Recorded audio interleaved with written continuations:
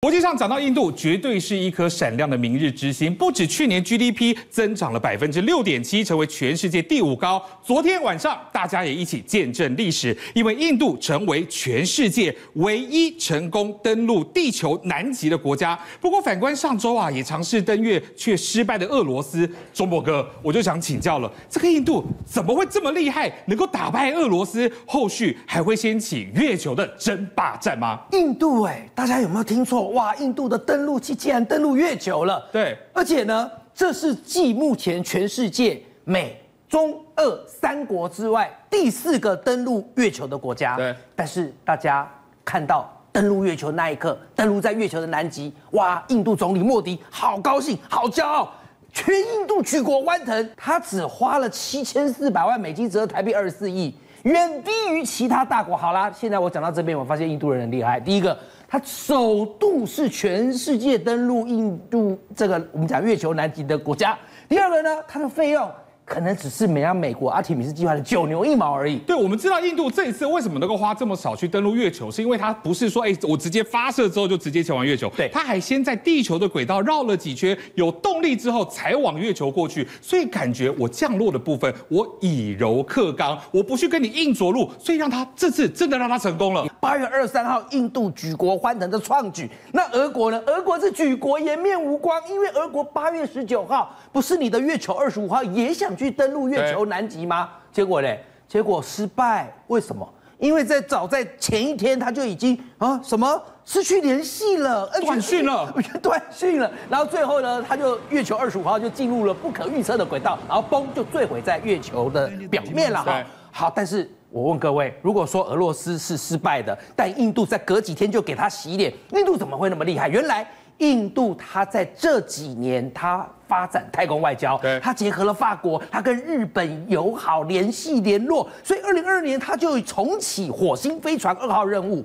然后在二零二三年就是我们现在这个任务月球月船三号呢，它也顺利完成，它还未来要再去看看金星哎、金星飞船呢、金星很远哎哇真的是全部通吃啊！火星、月球、金星它都要。好，那讲到俄罗斯颜面无光的那月球二十五号，我刚刚说过，它不是后来坠毁吗？对那坠毁的原因是什么？啊为什么现在看到印度成功，你俄国一定要追究啊就如！果印度失败的话，俄俄罗斯还会觉得说还好，不是只有我失败。对但现在，哎，我失败，但是印度成功了。结果没想到啊，很邪门哦！我想最近俄国超多邪门的事对，就说这个俄国天文学家马洛夫，他刚好就是这个月球二十五号的领导人顾问啊，他就说我要彻查为什么我们会失败，我们为什么会输印度？没想到他一说要彻查，哎，奇怪，他突然身体健康急剧恶化，中医目前失联当中被。下毒吗有？人讲，因为俄国的太空计划太多贪腐，你现在要把这些贪腐面摊在阳光下，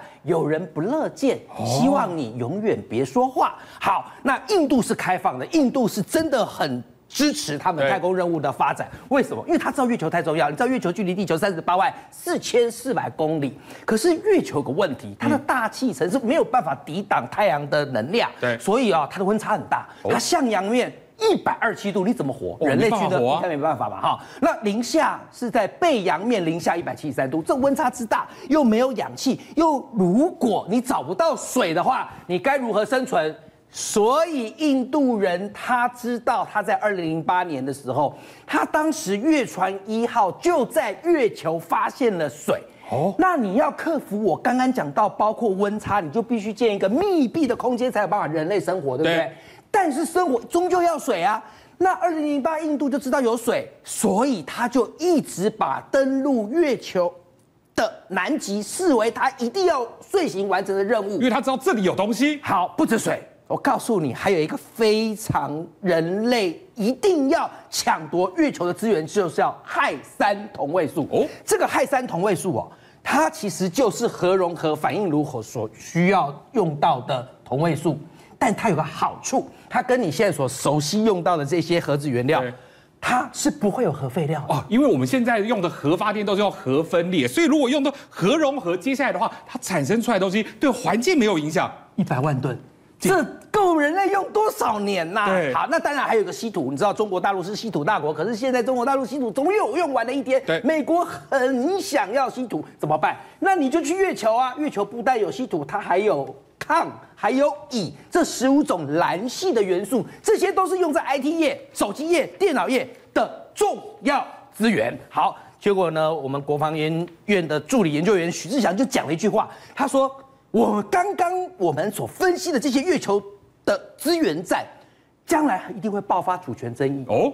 也就是说，哪个国家先去先插旗，就说这是我的。我告诉你啦，虽然外太空条约有限制，世界任何一个国家不能在外太空宣称主权，但你觉得中国会理你吗？当然不会。中国如果把南海的那套搬到月球去，谁先插旗就说是我的，那到时候月球的资源谁先抢到，谁可能会称霸全世界。那也难怪之前呢，我就听说，包含美国接下来要登月，接下来中国也要登月，所以这一些都是为了争夺月球上面的资源。不过。钟博克，嗯，月球上面的资源还有什么是我们现在不知道的吗？我告诉你哈，NASA 的阿提米斯计划刚刚说花九百三十亿美金，它预计在九年后，也就二零三二年，它要开挖月球的土壤，不妙了。月球土壤是有什么稀奇宝贝？你要挖它？对，告诉你，那是因为月球的表面，也就是我们讲的风化层，它里头不是有很多的岩石或者是尘土吗？这都是陨石撞击所带来的。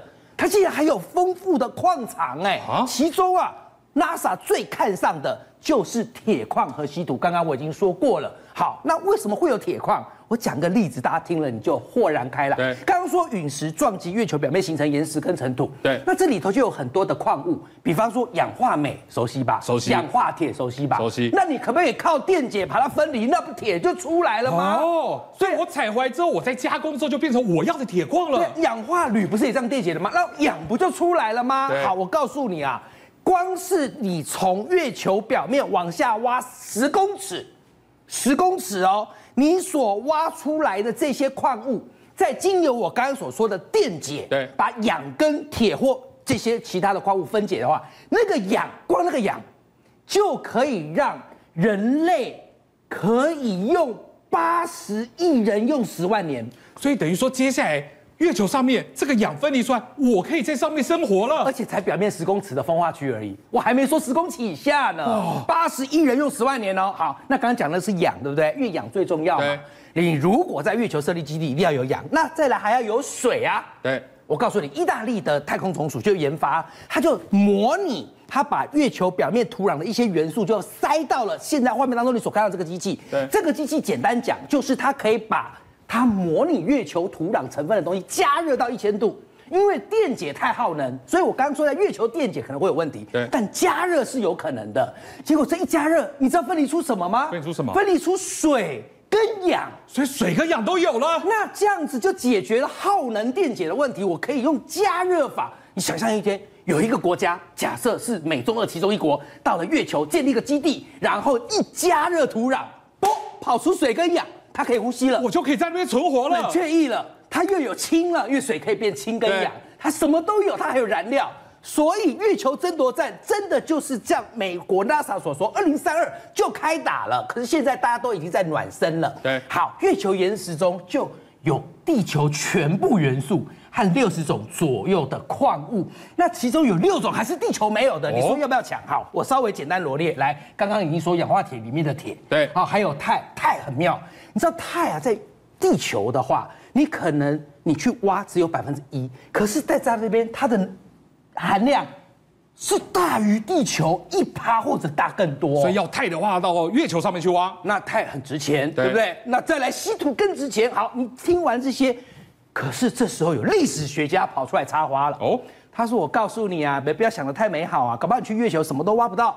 为什么？因为有历史学家曾经在玛雅文明的一座庙宇里头发现了一个神秘的地图。”哦，就是这个庙宇当中呢，上面竟然出现了月球地图，而且这个发现的年代是一九五零年呢。所以玛雅人曾经去过地球吗？你看哦，七十多年前就有历史学家在玛雅庙宇发现了一个神秘的地图，这个地图是月球地图。然后历史学家就大胆做了一个假设，他说：莫非玛雅文明？你知道，它常常都是超乎我们人类所想象。已经登陆过月球，而且已经把地球和人类月球很多的资源搬回到地球给人类用。哇，我知道你听起来觉得很玄妙，目瞪口呆，对不对？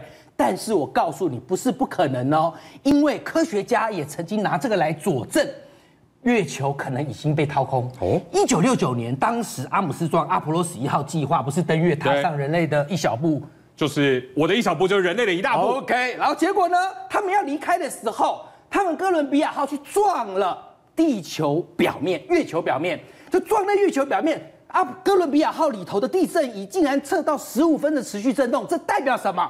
代表月球可能它是空的，不敢全然讲完全空，但蛮空的。所以有人就结合玛雅文明中的月球地图，认为要么你玛雅人真的如历史学家讲的很夸张，哇，真的掏空了；不然也有可能是有外星人之前造访地球，告诉玛雅人月球我们已经去过了，我们也挖了不少的宝物走，你们地球人将来很可能会跟我们成为敌人。